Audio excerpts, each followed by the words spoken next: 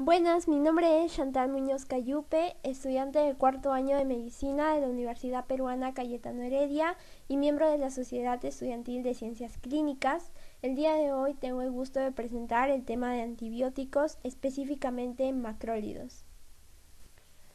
Los objetivos del siguiente video van a ser describir el mecanismo de acción de los macrólidos, describir tanto la farmacodinamia como farmacocinética de los mismos, conocer sus usos terapéuticos y describir la resistencia de ellos. Vamos a empezar hablando acerca de un poco de historia acerca de los macrólidos. El primer macrólido conocido, descubierto, fue la eritromicina por Manuel Alexander Maguire y sus colaboradores en el año 1952. Este fue descubierto a partir de productos metabólicos de la cepa Streptomyces erytherus y a continuación a lo largo de los años se fueron descubriendo otras especies de macrólidos también a partir de otras especies de Streptomyces. Actualmente los nuevos macrólidos que se usan son derivados semisintéticos de la eritromicina, que en este caso van a ser la acitromicina y la claritromicina principalmente, que van a presentar mejores estructuras químicas que van a ayudar a que tengan ciertas características mejoradas que van a, a, impulsar o van a hacer que el valor terapéutico de estos antibióticos se eleve. Vamos a hablar acerca de las generalidades de los macrólidos con respecto a su estructura química, se sabe que estos antibióticos poseen un anillo lactónico macrocíclico representativo al cual se le van a unir diversos desoxiazúcares. Para estos eh, macrólidos, para toda esta familia, se ha tratado de dividirlos eh, de acuerdo a la cantidad de átomos que se encuentren unidos, que se encuentren presentes en el anillo lactónico.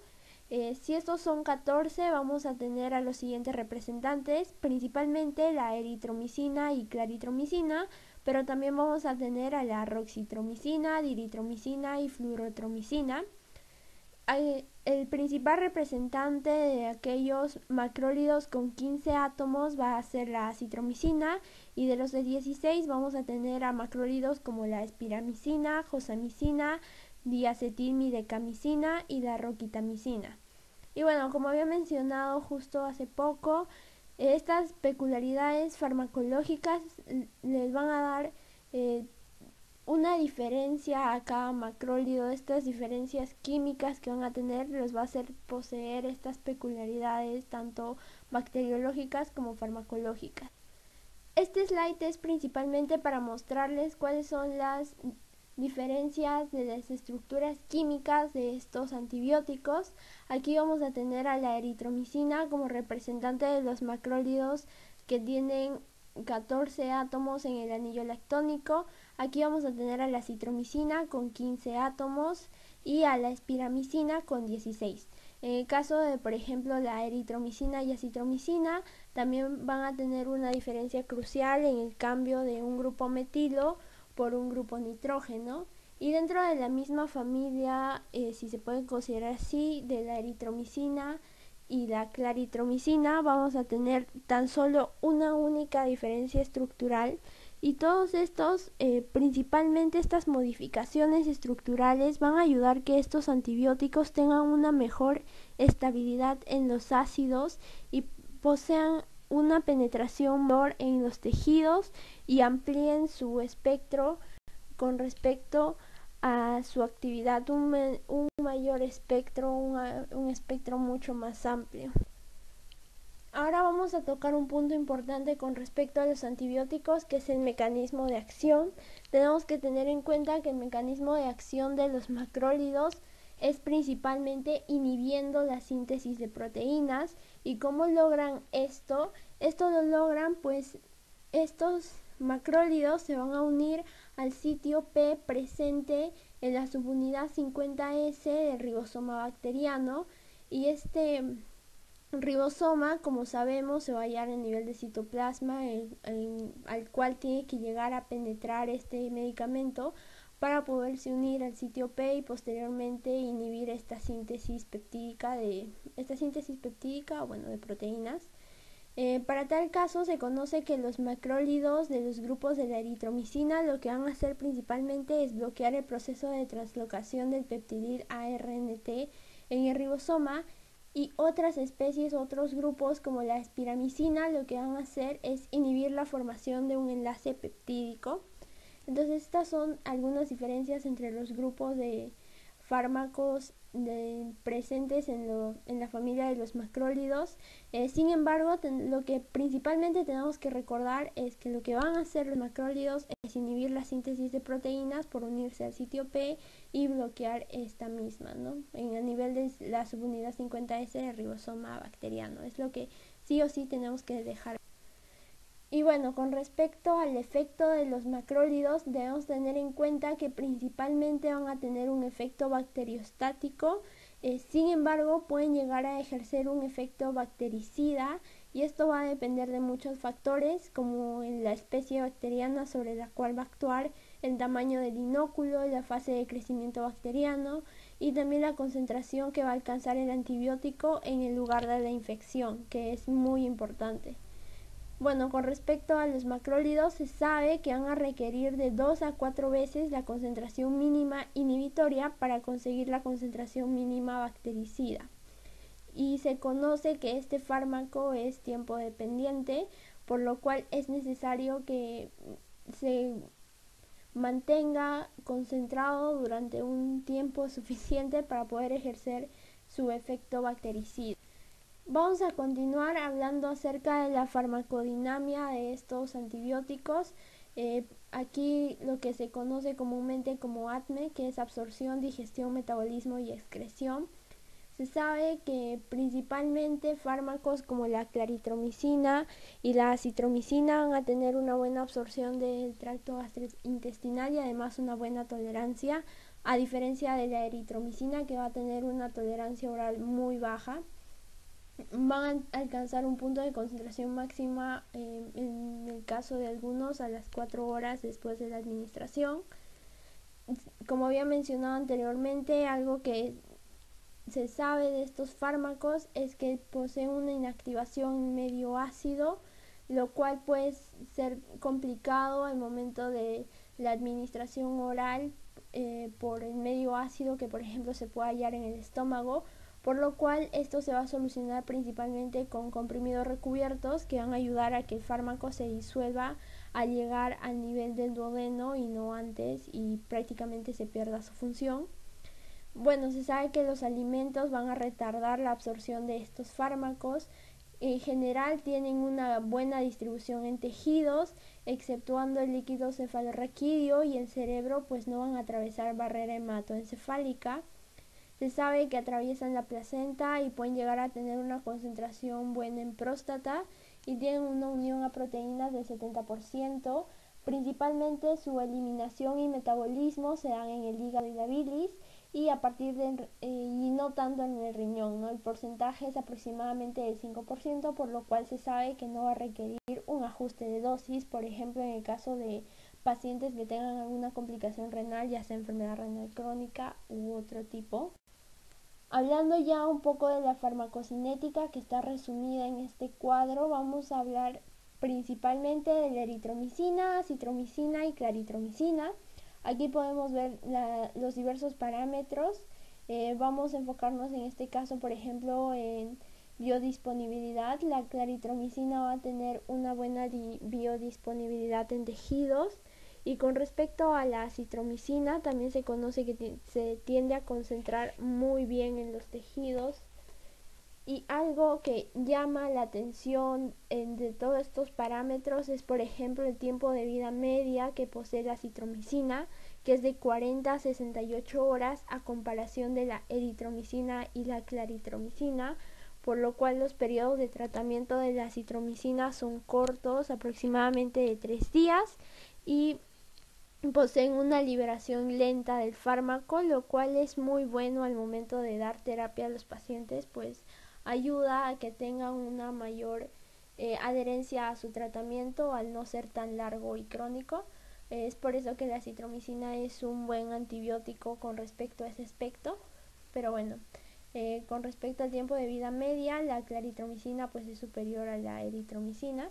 Y aquí pueden encontrar algunos de los, de los otros parámetros farmacocinéticos.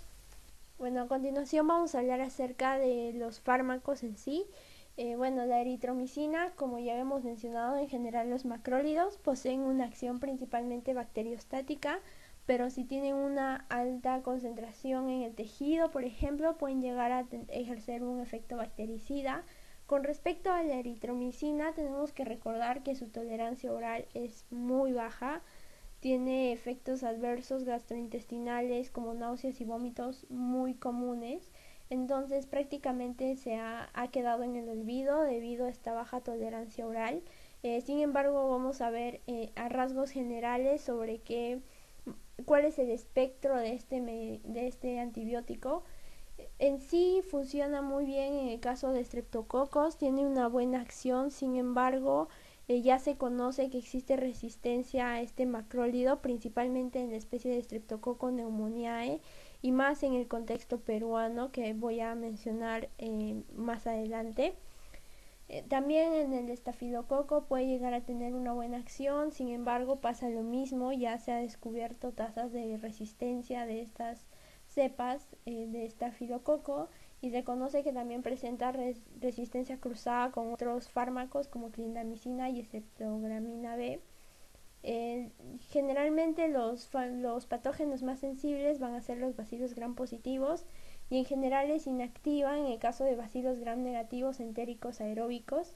Y aquí les dejo otras, otras bacterias o otros patógenos sobre los cuales puede actuar la eritromicina, por ejemplo, Borrelia, Bordetella pertussis, Campylobacter juni, Mycoplasma pneumoniae, Legionella pneumófila, son algunas de las especies patógenas sobre las cuales y bueno, aquí también eh, ya hablando de los otros fármacos que son más importantes que van a ser la claritromicina y acitromicina, se sabe que las cepas sensibles de strepto y estafi van a ser más, eh, van a tener una mayor acción la claritromicina y bueno, después va a estar la citromicina que comparando con respecto a la tolerancia oral que había mencionado antes va a ser más predilecta con respecto a la eritromicina. Y con respecto al Hemophilus influenzae, que también es un patógeno muy común para las, para las infecciones respiratorias, vamos a tener que la claritromicina tiene un efecto muy bueno sobre este tipo de, de patógeno bueno, aquí tenemos algunos patógenos causantes de infecciones atípicas en los cuales podemos usar tanto claritro como acitromicina. También sobre agentes protozoarios o micóticos se pueden usar estos fármacos y en el caso de la claritromicina tiene un uso especial en el caso de Mycobacterium leprae. Y bueno, aquí les dejo algunos slides acerca de las dosis de eritromicina, claritromicina y acitromicina. Con respecto a Perú, que es el contexto bajo el cual mm, nos encontramos, en este caso las dosis intravenosas no existen, no se da no se dan dosis intravenosas de fármacos eh, antibióticos macrólidos, se dan principalmente por dosis orales.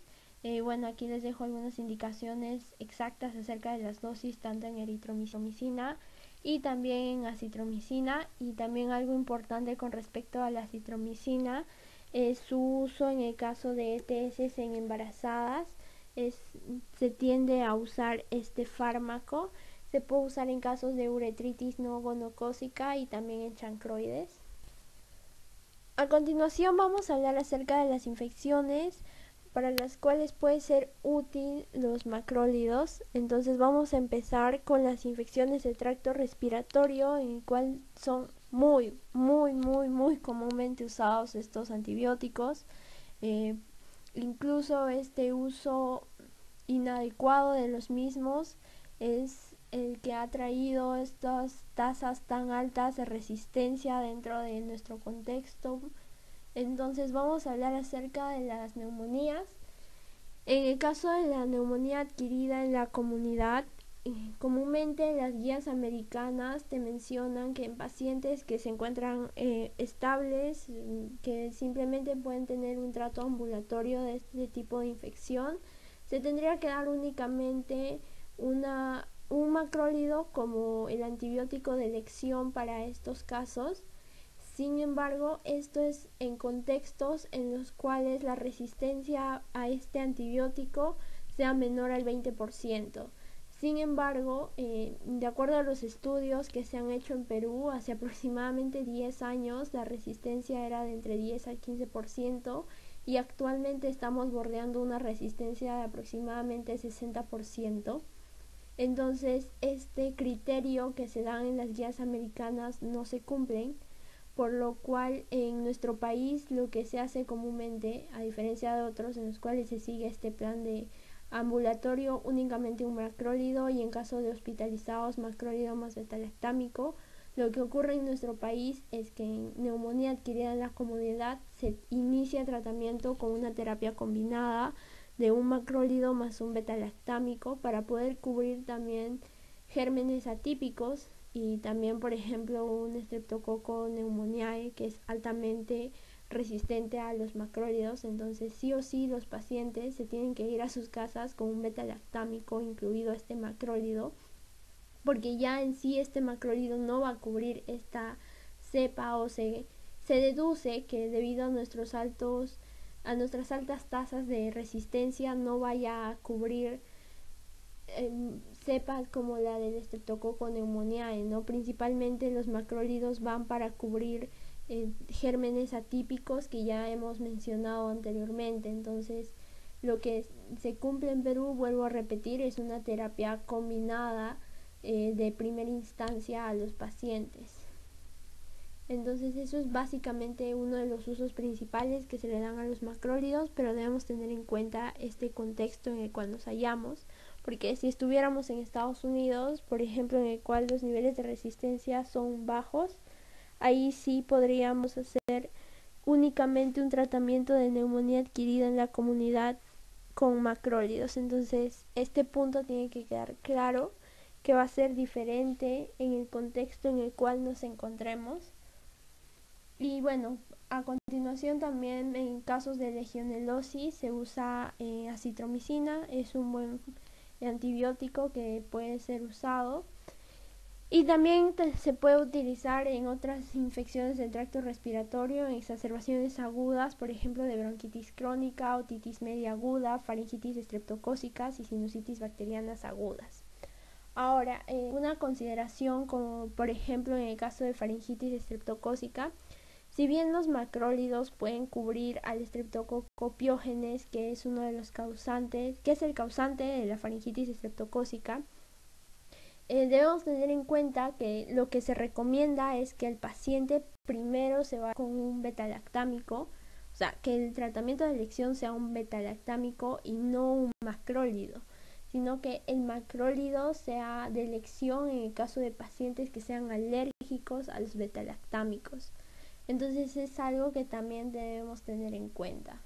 Entonces, en los casos de infecciones del tracto respiratorio hay que tener mucho cuidado con el uso de macrólidos, eh, ver en qué pacientes debemos de darlos, en cuáles no, para poder tratar de controlar las tasas de resistencia que se hayan. Entonces, eh, quiero que quede claro el concepto de neumonía, que si bien las guías especifican que se debería dar solamente mm, un macrólido, en nuestro contexto es distinto, se debe dar una terapia combinada de macrólidos más betalactámicos.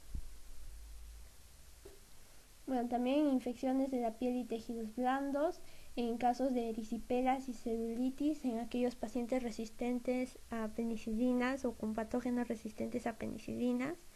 También en infecciones menores de la piel y tejidos blandos, se puede dar en caso de que el, de que el Staphylo aureus sea sensible y bueno, en infecciones por clamidia también, en aquellas infecciones no complicadas, ureterales, endocervicales, rectales o de epidídimo, se puede usar una dosis única de acitromicina, justamente por lo que habíamos mencionado anteriormente, que tiene una, una lenta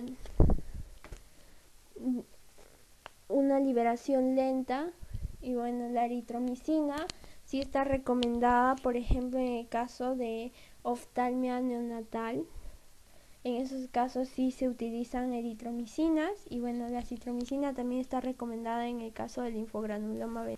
En el caso de tosferina también se recomienda el uso de citromicina también para tratamiento y profilaxis, en algunos casos también se puede dar eritromicina, pero principalmente es acitromicina. En infecciones por H. pylori, que ya habían visto anteriormente, lo que se usa es una terapia combinada de claritromicina, omeprazol y amoxicilina principalmente. Y bueno, por último vamos a hablar acerca de la resistencia a macrólidos. En este caso mm, existen cuatro mecanismos que menciona el libro con respecto a a cepas como del Streptococcus pneumoniae se conocen principalmente estos dos o se describen principalmente los dos primeros, que es la salida del fármaco por mecanismos de bombeo activo por bombas de flujo, o sea, el fármaco sí llega a entrar a la, a, la bacteria, sin embargo, esta la va a eliminar por estas bombas.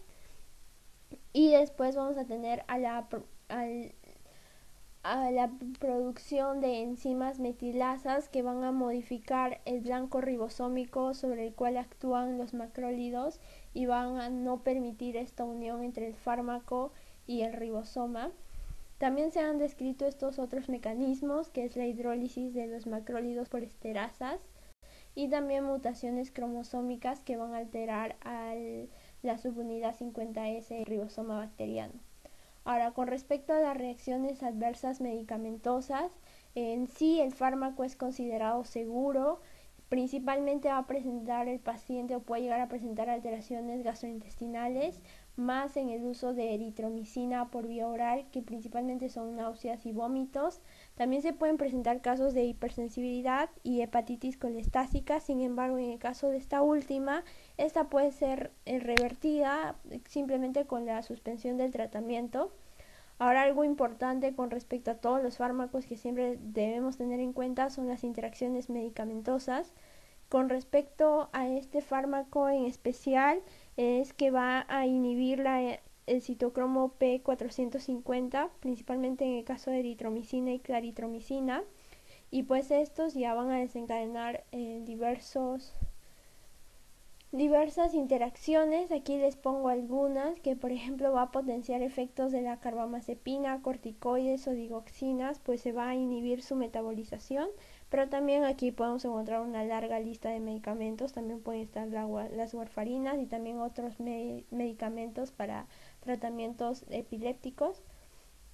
Y por otro lado, también se sabe que tiene una interacción medicamentosa con la teofilina y otras santinas que pueden aumentar las concentraciones de estos últimos. Pero en sí, en general, este medicamento es considerado eh, seguro, esta familia de medicamentos es considerado seguro. Y bueno, por último, dejarles el mensaje de que hay que saber cuándo y cómo dar estos antibióticos, en qué casos. Eh, por ejemplo, en el caso de las faringitis, comúnmente tienden a dar antibióticos eh, macrólidos, cuando en su mayoría resultan ser e infecciones virales y no bacterianas, así que hay que tener en cuenta el diagnóstico para poder dar el tratamiento adecuado y poder disminuir las tasas de resistencia o controlar estas tasas de resistencia que actualmente existen. Entonces simplemente dejo ese mensaje ahí. Y por último, eh, mencionar las referencias que he utilizado para realizar el siguiente video y gracias.